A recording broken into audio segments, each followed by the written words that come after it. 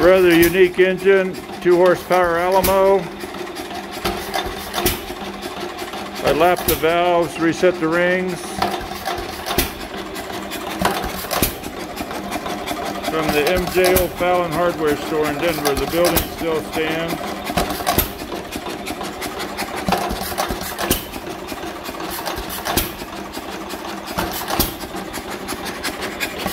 We also have a unique water pump from the same company